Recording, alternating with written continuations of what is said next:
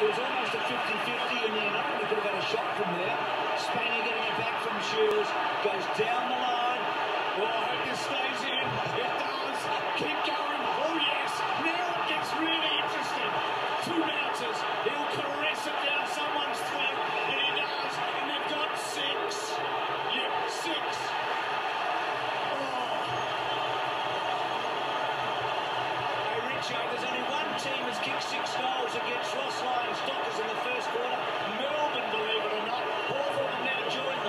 Well, that was unbelievable. Crowley was free forever down there. They couldn't get it to him, and then it was just Wooshka down the other way. But it took brilliance. Cyril was amazing, but don't forget Puopolo's tap. It was sensational by him. End-to-end stuff from the Hawks. There's a psychological point as well. Crowley had an opportunity to kick